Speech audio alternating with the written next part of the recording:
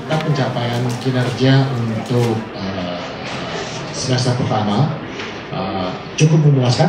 Uh, kita on track dari sisi planning kita, budget kita segala.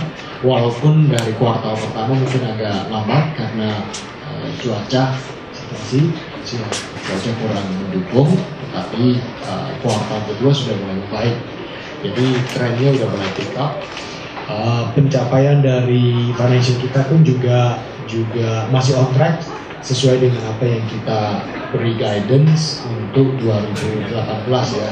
Evidentnya pencapaiannya hampir 600 juta US uh, net income-nya uh, hampir 270 juta US uh, jadi cukup memuaskan. Semuanya masih on track. Saya rasa mungkin saya stop di sini aja kali ya